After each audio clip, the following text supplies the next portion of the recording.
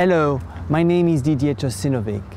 In September 2007, Safety Users Group organized a forum in London to discuss functional safety with a number of experts. This event was reserved for the press and the intention was to highlight the issues around the emergence of the international safety standards IEC 61508 and IEC 61511 for the process industries, and also to show how safety fits as a key factor in the development of a business case. Our special guests were Ron Bell, Andreas Fuchs, Michel Houtermans, Tino Vande Capelle. Now, we would like to share with you some of the information and insight these experts presented to the press.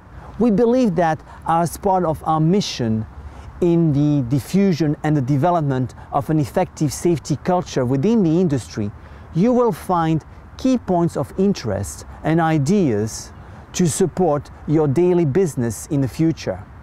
We ask, as you view this video, think about what you and your company are currently doing or could possibly do to support the effort of driving a strong safety culture.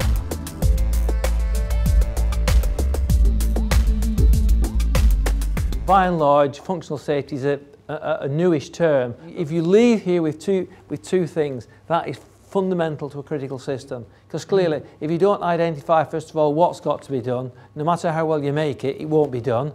And if you make it so it will be done, but it's not being done reliably well, how well it should be done, what the reliability is, you're not going to achieve your risk, tolerable risk.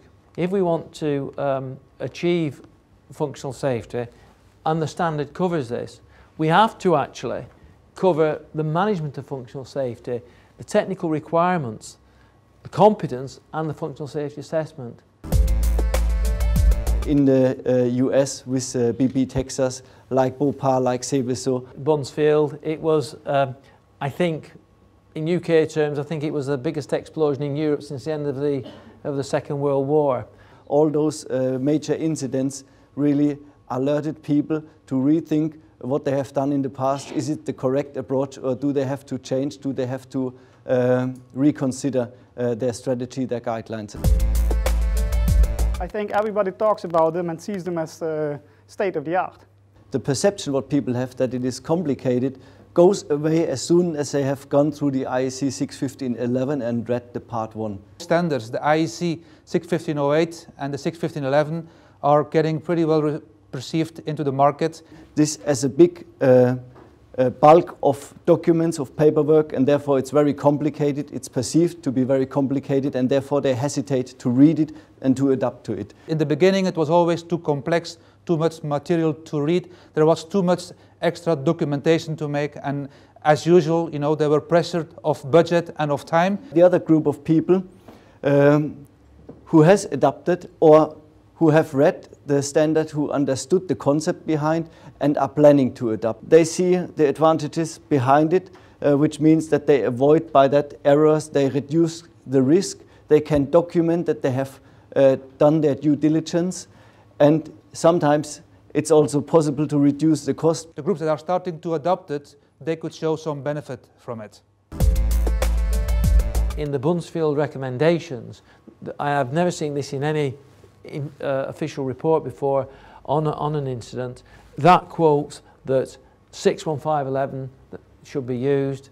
And it's also indicated that it wants industry to set up, which it has done, uh, a group to use the methodology in 61511 to come forward with um, ways in which the specification for the protection systems should be uh, specified. Those recommendations are at the heart of what we call functional safety because it's actively managed systems. Something has gone wrong, we're actually trying to detect what's gone wrong and then implement some uh, automatic system to actually prevent the hazard from taking place. There's an increasing need to justify what you've achieved. Increasingly, there's, the regulator is requiring evidence that, of what you have done. We noticed a fast adoption in countries where there was already where there were already some safety regulations in place. Especially the last five years, it is growing very rapidly. European areas, Russia, yeah, so they have uh, different uh, or no regulations in place, and they still need to adapt uh, to that standards. And always when we speak to those customers, we first have to give a lot of information. We have to tell them how to approach it. If you look back like 10, 15 years ago, in, in the beginning, the people were always talking about the black box. They had a safety PLC and therefore they thought they were safe. Without this new standard, I don't think that the local standards would have developed much further.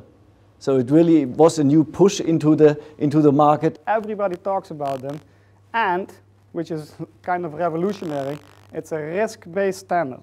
So it's very good that nowadays they have a target. At the end of the day, what we're looking for is a tolerable risk, and that's got to be done. Responsibility, certainly in the UK, for doing that is the person who's producing the risk.